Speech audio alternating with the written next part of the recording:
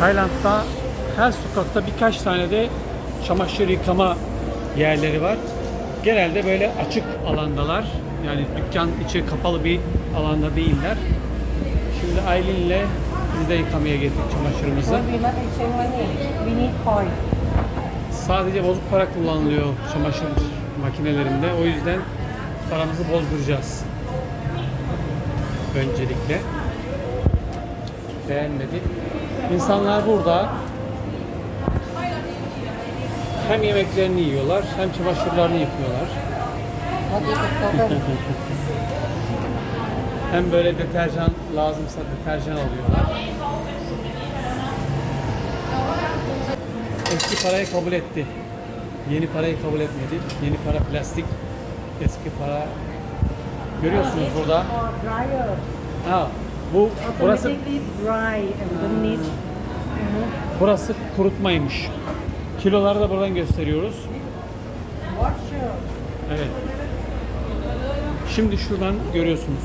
28 kilo yıkayan bir çamaşır, 18 kilo makine, 14 kilo, 14 ve 10 kiloya kadar çamaşır yıkıyor. Fiyatları da burada 10 kilosu, 14 kilosu.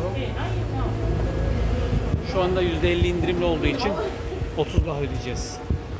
Can I start now?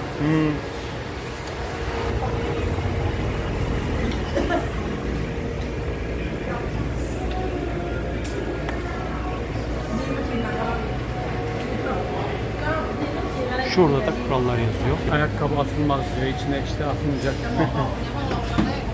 Hayvan da atılmaz diyor.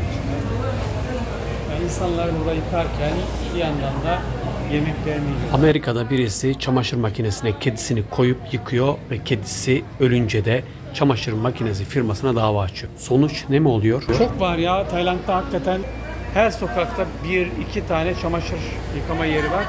Çok azı e, kapalı alan. Genelde böyle açık alandalar. Bir de e, rezidanslar var. Bazı yerlerde rezidanslar. Rezidanslarda o rezidansa özel mesela 200 daire, 100 daire, 40 daire, 50 daireye özel çamaşırhaneler var.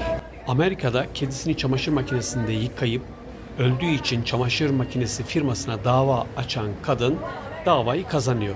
Gerekçe ise çamaşır makinesinin üzerinde evcil hayvanlarınızı yıkamayın uyarısının bulunmaması. Another no, Another ha? Ha, for yes. softener. I use just this liquid. Yes, yes, yes. Bu yumuşatıcı için. O güzel kokuyormuş deterjan. Şimdi parasını ödeyeceğiz. Makine çalışmaya başlayacak.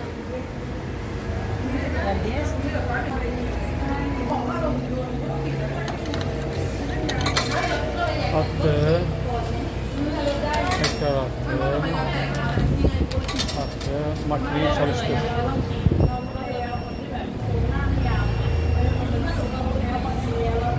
Starter 25 dakika sonra çamaşırlar hazır olacak. Visit ve. Evet.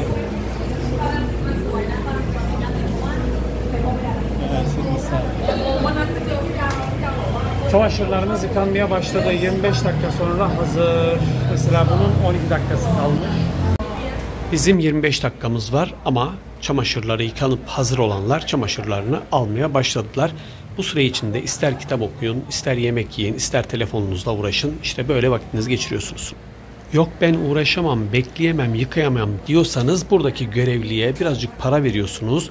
O sizin adınıza çamaşırlarınızı yıkıyor, kurutuyor, ütüleyip, dürüp, büküp hazırlayıp size teslim ediyor.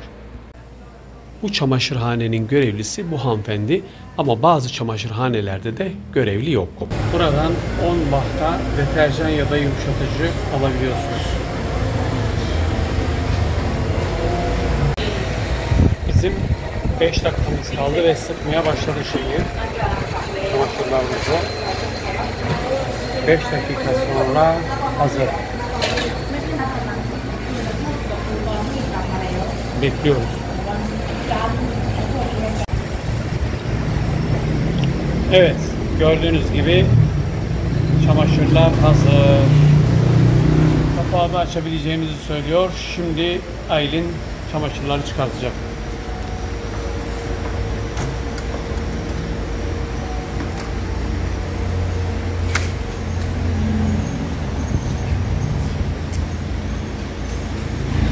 Seçtiğimiz programa göre bizim dakikamız 25 kiloydu.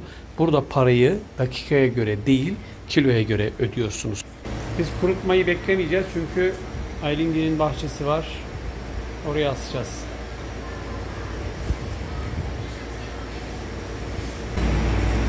Taşıması da olarak bana düşüyor. Ben taşıyorum.